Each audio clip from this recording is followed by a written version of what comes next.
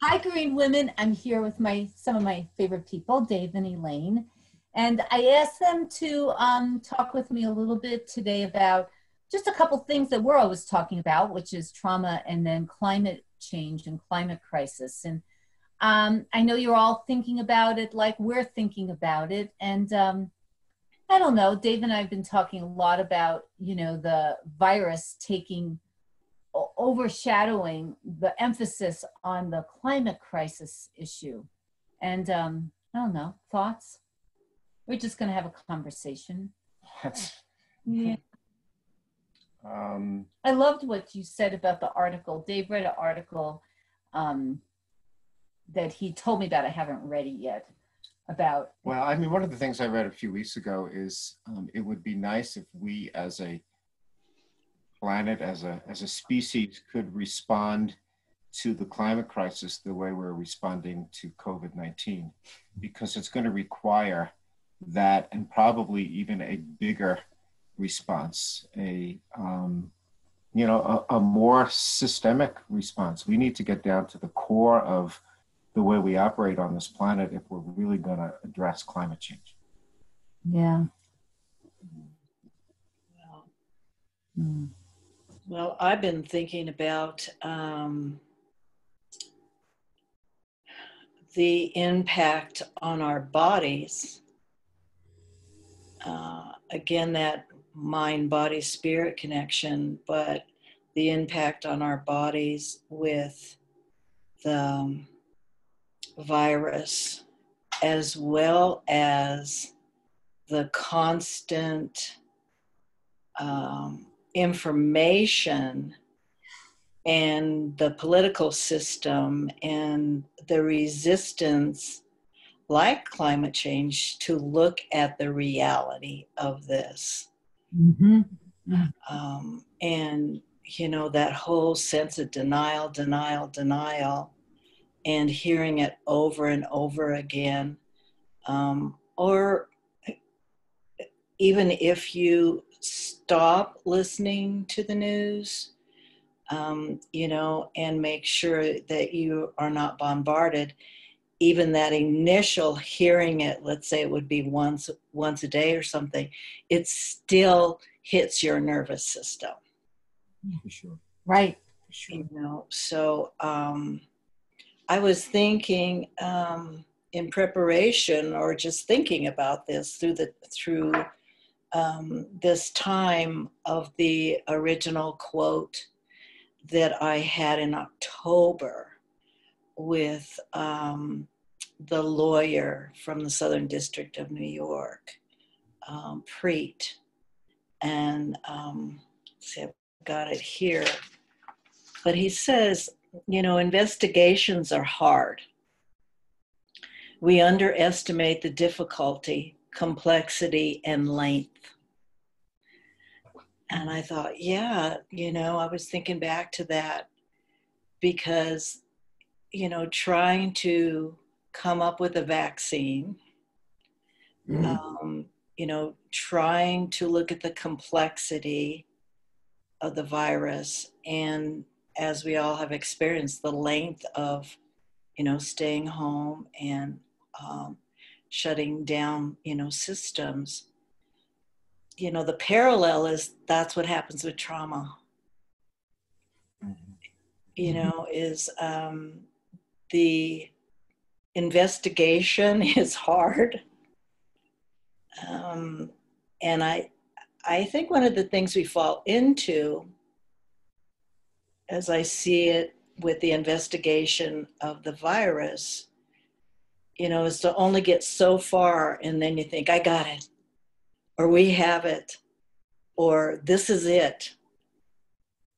And then, like he talks about, then you have the length of it. Mm-hmm. And then something else, you know, happens, you know. So in this case, the virus, you know, can trigger whatever it is inside of yourself and there you are in another journey. And I think sometimes then we fight with ourselves and saying, well, I did the work, you know, and here I am back again. and it's not always a cognitive thing you know it's like i think that with the bombardment of the information with our lives and the information and the reality of our lives then the nervous system takes it on mm-hmm. And we go back to fight flight you know freeze or mm-hmm. fawn. And then we're back at it again. But the body's going to tell you because the muscle structure is so complex that for some person it might be a headache. And you know then you were working on your back pain and now it's back literally mm-hmm. and then you know uh, you thought you had your anxiety in control and now it's back. You know so the length of trauma work is long it's never ending. And i think a myth is that it does end. You know once you recognize it and, and do the initial work and i think with the virus too it's like uh, you know it does it's not ending. And you know in this case we can have a test you know but we're not getting the test. But how do you test that longevity of uh, trauma? Mm-hmm. you know i've just been thinking about the investigation, the complexity very much, and then the length of it. It kind of parallels, you know, two very hard topics to talk about and climate change, you know, environmental injustice and trauma. And I think with um, with the COVID nineteen, there's this at least what I'm observing, there's this real desire to say, okay, we've investigated it, we know it, now let's get on with things. You know, let's get back to normal. Yeah. You know, that's a whole topic in itself because normal is, I don't want to go back to normal. Normal is full of greed and injustice and and so many things that we need to, you know, I mean, in a sense, we have this opportunity now to um, sort of, I can use the analogy, pushing the reset button. You know, this is, we've all now are taking a step back. And I just read this interesting article that uh, various nations in Europe are looking at um, kind of taking, kind of post COVID 19, getting their systems based on what they call the, the European Green Deal. And that is really setting things up so we do not have several more decades of reliance on fossil fuels. And I'm, I'm kind of amazed that wow. nations of the world are actually thinking hmm. this. And I was thinking that um, you can kind of take that same concept and apply it to ourselves because each of us now has this opportunity to kind of push the reset button on ourselves because we are doing things differently and when we have the opportunity to be out of our homes and start socializing and going back to work or whatever the things we do, we don't have to do it the same as we did before. We change the way we consume. We, we've already changed the way we consume now. The way we consume time, the way we consume money, the way we consume media, and we can we can kind of be more deliberate and and look at how we're going to go forward differently if we choose to. I just read this fascinating article by Mikhail Gorbachev in Time magazine where he says that, and he says the same thing. He said, We as a world need to now start over. And the start over is, I, I was amazed that he said this. He says, We need to make a commitment. He needs, we need to convene the UN or something, and we need to move forward with a 10 to 15% reduction right off the bat. And so it's fascinating to see some people, not our president, but some people really wanting to take this as an opportunity to change the way we move forward. And again, I think that could be applied to how we live our own personal lives. Right, right. Well, and I think, you know, again, with the reality of um, what we know about neuroscience and trauma,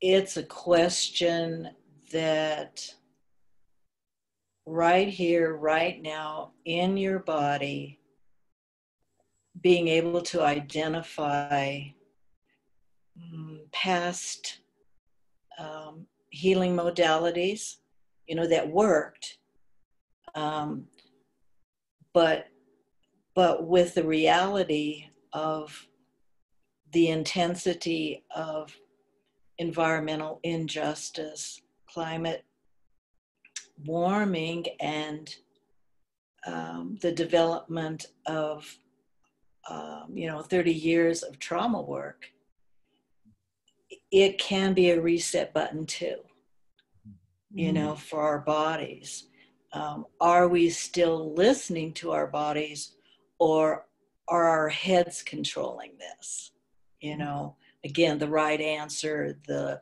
old normal i used to do that it worked for me then you know so it's changing that script you know when you have the anxiety you know because of external information which is just being bombarded on us the reality of somebody maybe in your family of yourself you know getting the virus mm-hmm. um, you know that is increased. Of course it's going to increase but depending on your personal physiology and how it hits your body you could do a reset too you know on some of the things that we talked about other than you know ju- the deeper the deeper sense of that when the trigger is there.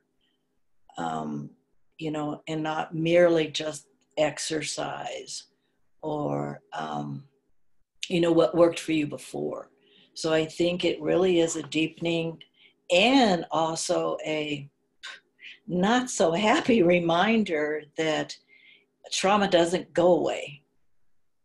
You know it is held in our cells in in our muscles but we walk through it you know like we you know like we have 20 years ago like we did you know uh, earlier than that or like maybe recently you've just discovered you know that developmental trauma has really impacted your life. So it doesn't go away and the virus isn't going away you know. And pushing up the economy you know and just getting back out there is the old answer. Right right. You know so i think there's some old answers that we also have um, that it's going to take that reflection time to say how can i do it in, in a new way? Mm-hmm. or the harder thing is if you haven't done it and your anxiety is really high or your migraines have returned you know you know something more intense that your body the physiology of your body is saying i still need to work on this. You know i need another way. And it could be that top down work or it could be the bottom up work as we all know um, but there's a lot of parallels with with uh, mm-hmm you know the virus and also because it you know you can't see it. So it really um, i think challenges a belief system. Um, the belief system again you know seeing is believing. Yeah you can't see climate change. You can see the impacts of it but exactly. And you can't you can't see trauma. I mean, you know, you can't take this test, but, you know, it is there. Um, you know, and we we see the effects of that, you know, in our bodies. Um, but the other piece, and I just touched on it, and I, I hadn't thought about it, is, you know, when we reset, are we resetting those belief systems? Can we even see that we're in them? Mm. you know, mm. like dualism. Um, right. And uh, all or nothing thinking. Um, you know, that those really get us stuck. Mhm. You know, I, I've been seeing a, a few posts, more than a few, of people saying things like, oh, you know, our air quality is so clear now. Climate change is really going away. And Mother Earth is just healing herself. And um, what, what would you say? Like, because it, it links Well, in. yeah, I know, but I mean, millions of people are not working and they don't have money to pay the rent and they don't have money to buy food. And so, I mean, it just goes to show that we need to re retool our entire way of living. Living, you know Because once we go back to that, it's gonna come right back. all the emissions are back and the smog will be back. And Sure. I mean, yeah. I mean, it's just, I think it's uh, parochial or too elemental to think, oh, now everything got fixed. Yeah. Right. And the same thing with trauma, like I said before, you know, I, I had it. I think I had it. I got it. You know, I've been working, blah, blah, blah, blah, blah.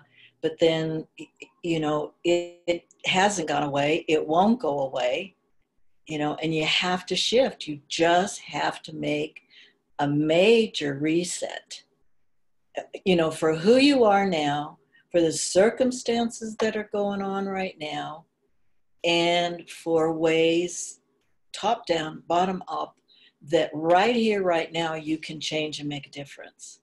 Mhm. and and doing that while we are being re-traumatized. Yes, i mean that i mean we have we have our own personal traumas from our past but you can't i can't listen to the news and not feel like i'm being traumatized by the injustice by the insanity by um by so many things. It's it's really hard. I, I read this very interesting article. It was called enduring the unendurable and kind of the essence of it was we here in, in the West, in the United States, and many Western countries, we have really been insulated from what it's like to live with the uncertainty of living in a war zone. And this, this um, journalist spent a lot of time interviewing people living in Afghanistan. You know, they've been dealing with war and the uncertainty that war brings for a long time. And one of the things they realized she you know she realizes these people when bad things are happening as it's happening they have accepted the fact that they're going to have to get through it. And whether it's bombs dropping or people being killed or whatever. And then they have stretches of time where that's not actually happening. And these people have this ability to be okay to, to, to kind of get on with their life knowing that they can't really make plans because any plans that they make could be thwarted by the next bomb, the next, you know, terrorist attack, whatever. And in a sense, we now are in that. It's not the same, you know, it, it's not bombs falling, but it's all of this uncertainty that accompanies this virus. We don't know what's ahead. And that's new for us. You know, we are in control. We know how to, you know, we plan, I'm buying plane tickets to go somewhere next fall and all of that. That's, at least for the immediate future, that is no longer our reality. And um, there are lessons to be learned from these people who live in these war torn areas that still manage to get up and and be okay when it's okay. right, right. And all- Well, I think part of that, in terms of when I was talking about a belief system and listening to you, Dave, is you know uh, a, a, another way of thinking that um, you know doesn't doesn't help with this sense of resilience is compartmentalization. Mm. You know, so if we can compartmentalize and keep every compartment not touching the other compartment in our brains, you know, we're good. good luck. You know, and um, you know, we're we're good at it. And actually sometimes that is very helpful because you do not want to think about the trauma. That is the way we numb ourselves. But on the other hand, just like with environmental work, if you do not believe, really believe the concept that, you know, we hear it every day, every day that we're all connected, you know, but fundamentally believe that, then you know one action, you know, uh, impacts another action. But if you can compartmentalize that, you know, which is control, you mm-hmm. know, then this reality we're going through is is hard i mean more than hard. It is challenging to a belief system like that. And that is pretty much normal for western culture. And it is praised. Um, it is so um, um, accepted. And we've internalized it that we don't even know.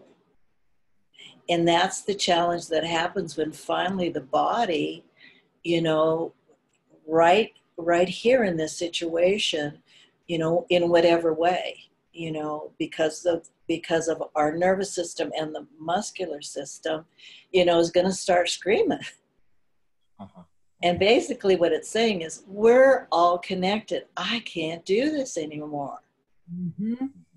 You know, so not having food, not having the money for rent, you know, not having a job, you know, that is going to um, arouse the amygdala. It's going to go into fight, fight, flee, or fawn. Mm-hmm. And all of us have a preference for that. Mm-hmm. You know, so it I think that it's really, um, I think and I feel that it's uh, really that reset, but there's got to be an awareness and some uh, knowing that um, our brains are really working hard now. Uh, and, you know, like you say, just challenging challenging what is to try to not just solve what can be, but to really make it different. Mm-hmm. And I think it's true with trauma, from what I can see with people and know, you know, with with my small narrow world. Um, the saying I'm doing trauma work today definitely means something different than it did 20, 20 years ago. Yeah. Exactly. exactly. Mm-hmm. So, speaking, going back um, 20 years, if we go back 50 years, that was the very first Earth Day. And we're coming upon the 50 year anniversary. Yeah. And I came upon this National Geographic, and it's all about let's look, I will, let's look 50 years further to 2070. Because we've now had 50 years of celebrating Earth Day, year after year after year. And this National Geographic is great because one side is the optimist view of what it's going to be like in 2070. And the other side is the pessimist view of what if it's going to be like in 2070. And you know, when I when I get National Geographic, I usually don't read a cover to cover. I did read this cover to cover. Of course, I had to turn it upside down, and I read the optimist first, then I read the pessimist. And I'd be really curious if you could all get a hold of this, let's have a discussion on it. Where do you find yourself landing? Um, I'm not going to share where I landed.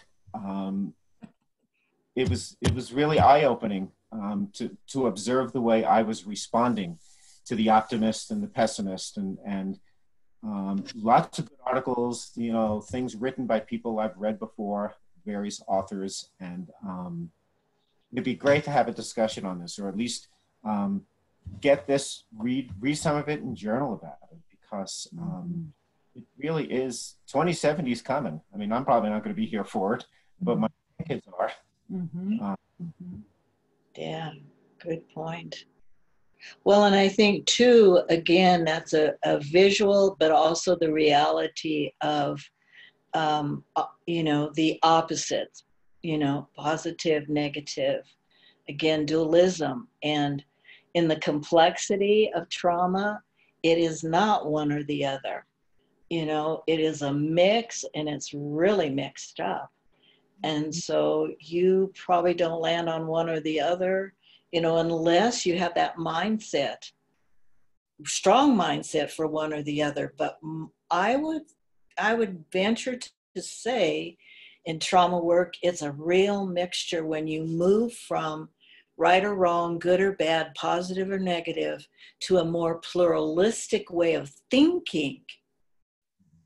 That's the complexity, and it's not easy to think that way. And I would, I would say that the the majority of us do not want to think that way, because it really is hard, you know, yeah. to figure out that complexity. That it didn't look like it you know, the trauma 20 years ago, but I still have it. Mm-hmm. You know, so um, I don't know. I just think it permeates so much that that that um, not push to the critical thinking part. Mm-hmm. It's painful. You know, not only do you have pain, physical pain with trauma, your body's speaking to you, but you know the pain of having to really really think and move out of these that is a structure just as old as some of our institutional structures that are falling down mm-hmm. i think mm-hmm. yeah in this article i read about um, working with the people in afghanistan one of the things that the people that live there accept is that suffering is just a part of being alive and isn't that a mm-hmm. Buddhist teaching? Yeah. Is once you can accept that suffering just comes with being alive, you're not fighting. You're not fighting the suffering. You're actually accepting it, and by accepting it, then you can actually deal with it. Oh wow, yeah. Because another truth in Buddhism is to accept to accept what is accept mm. what is right. Yes. You know and suffering is but again in compartmental thinking you have suffering and no suffering. Right right. And you're constantly like no no no i'm not going to suffer here. Good or bad? Yeah. I am not going to suffer. I'm actually seeing that with the political conversation. You know it's either bernie or trump you know it's black or white and there's a lot of room in between there mm-hmm. but the conversation yeah. and, we're, and, we're, just about out of time okay. so thank you to elaine and to dave for being here today um, if you um, watched our video today um, this was designed to be a conversation for the green women leadership project however this video may find its way to you and if you're interested in the topics of green leadership, in, in the interested in the topic of the climate crisis and trauma, then we hope you got something really valuable out of this today. So thank you so much for coming, and um, we'll probably have another talk, and we'll invite you to come back. Thanks. Okay. Do I have enough time to read a poem? Yes. You do, yes, of course. I'm yes. sorry. Okay, that's all right. No, um, we had a poem by David Whyte when we did the training, and I had another poem here that I thought, you know, applied. Um, it's called Sometimes. Um, sometimes, if you move carefully through the forest, breathing like the ones in the old stories, who could cross a shimmering bed of leaves without a sound. You come to a place whose only task is to trouble you with tiny but frightening requests. Conceived out of nowhere, but in this place, beginning to lead everywhere. Request to stop what you're doing right now and to stop what you are becoming while you do it. Questions can make or unmake a life. Questions have patiently waited for you. Questions that have no right to go away. Mm. Mm. Thank you. Mm. Thank Bye. you. Thank you. Thank you. Have Elaine. a beautiful day. Thank you.